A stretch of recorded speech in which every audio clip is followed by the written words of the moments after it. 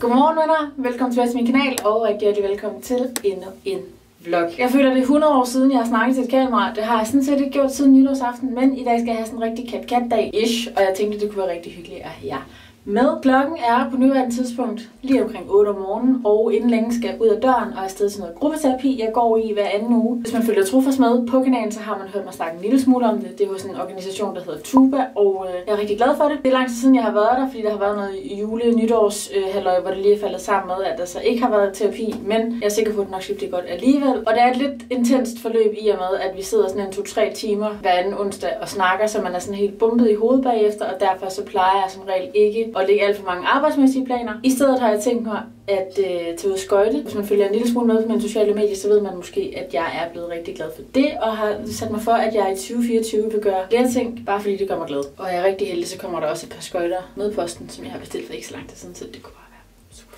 Og så har jeg også lige lidt ærner, jeg skal løbe hister her og sådan. Så jeg tænkte bare, at jeg vil tage jer med under armen og drage ud i den københavnske vinterkulde. Yes. En flot håndtaske, skal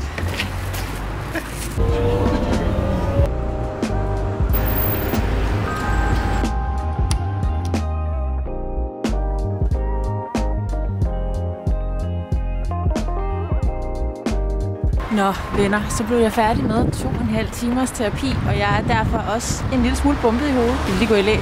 Det er super givende med sådan noget gruppeterapi, men det er satme også øh, hårdt for hjernen at skulle være så meget på overarbejde. Kan I høre, hvad jeg siger? Så nu glæder jeg mig vildt meget til, at turen går øh, mod skøjtehallen, ikke så langt fra, hvor jeg bor. Og jeg kan ikke lige huske, hvor meget jeg nåede at sætte ord på det i morges, men jeg har bestilt et par skøjter, fordi jeg vidste, at det var en interesse, jeg ville komme til at dyrke sådan relativt meget. Forhåbentlig i hvert fald. Fingers crossed. Jeg har også købt 10 turs øh, klippekort til skøjtehallen, og de er lige kommet. Så jeg øh, tænker at smutte ind og hente dem på vejen, så jeg kan få dem indvidet i dag, selvom det hvis der er noget med, at man kan have dem varmebehandlet inden eller sådan noget. Men øh, ja, jeg må håbe, jeg ikke får alt for ondt i mine fødder i hvert fald. Som sagt, så er mit hoved altså helt all over the place, så jeg er rigtig glad for, at jeg har sat den her dag af til mig selv. Og for at vi kan starte den her kat-kat eftermiddag, ui, så skal vi finde station og pakkeshoppen.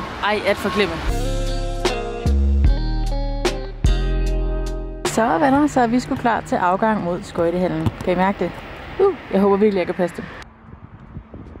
Jeg er ankommet til skøjtehallen nu, og er netop hoppet ind på toilettet, fordi jeg jo lige blevet nødt til at finde ud af, om jeg kan passe de her skøjte her, inden at jeg hopper ud på isen. Og jeg synes, det var lidt akavet at teste sammen med jer, med dem må i reception kigge på. Nu gør vi det herinde, og jeg ved ikke, om det galt eller genialt, men uh, lad os prøve. Og ja, de skulle have været varmet op inden eller et eller andet, men det, jeg må tage konsekvenserne af min impulsivitet. Sådan er det.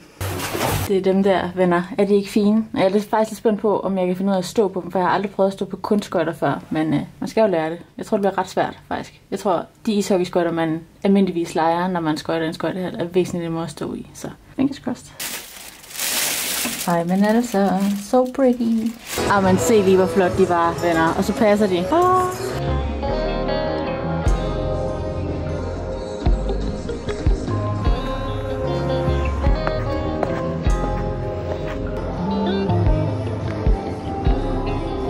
Venner, jeg har fået skøjtet, og det var en kæmpe succes. Jeg er sikker på, at jeg bliver vildt glad for de skøjter, jeg har investeret i. Og øh, så kan jeg bare mærke det der med sådan at dyrke ting, bare fordi det gør mig glad. Og så kommer til at gøre et kæmpe forskel for mit mentale helbred. Så øh, altså kæmpe, kæmpe succes oplevelse, vil jeg sige. Og jeg glæder mig til, at jeg begynder at blive god til det, og ikke bare så koncentrere mig om ikke at falde. Men den skøjtehal, jeg var i, har netop lukket, og den ligger ganske passende lige ved siden af Fields. Så nu står jeg tada, herude foran, og øh, vil hoppe ind og løbe lidt ærner. Jeg har det små ting, jeg skal have derinde, og jeg var så heldig at få et gavekort af mine svigerforældre i øh, julegave. Så lad os bare hoppe derind af og håbe på, at vi får varmen en lille smule, for jeg havde ikke nok tøj på. Jeg ved ikke, om I kan finde på mit ansigt, at jeg øh, fryser så meget, at jeg har svært ved at bevæge mine læber. Let's go.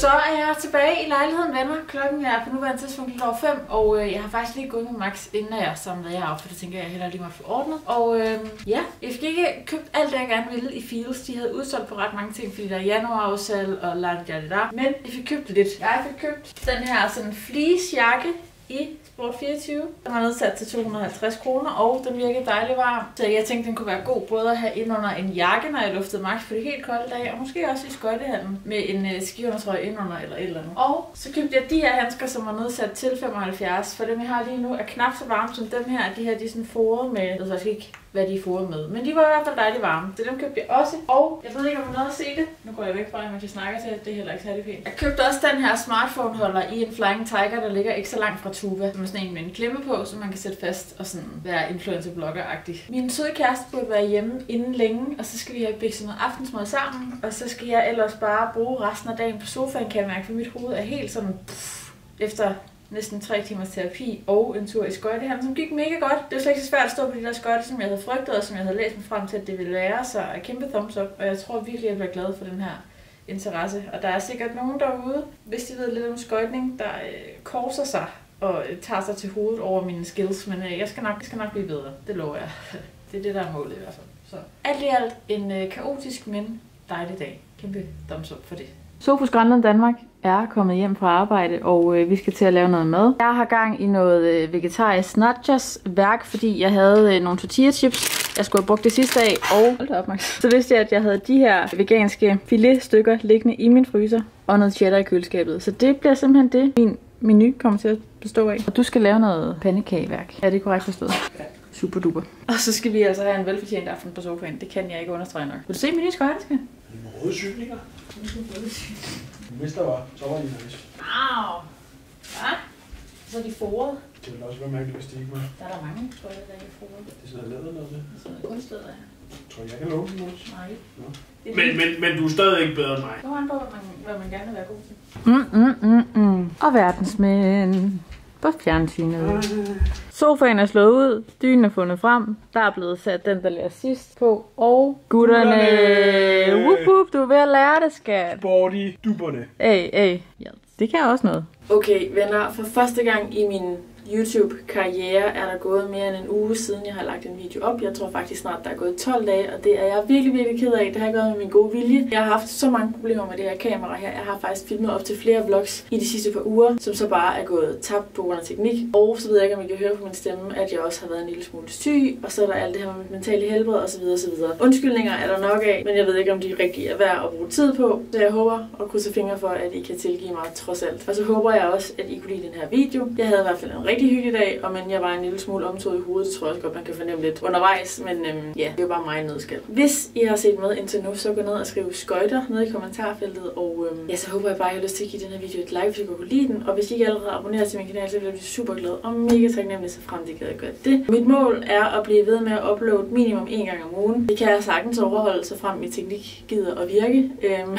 der kommer ikke til at forsvinde i så lang tid en anden gang. Jeg har aldrig rigtig haft en pause i mit YouTube-halløj, siden jeg startede, så øh, ja, det er ikke uden dårlig samvittighed i hvert fald. Det håber jeg, jeg ved. Men ja, jeg håber, vi ses i min næste vlog meget snart igen, og øh, at I passer på jer selv og har det dejligt derude. Hej hej. Ever since the day that you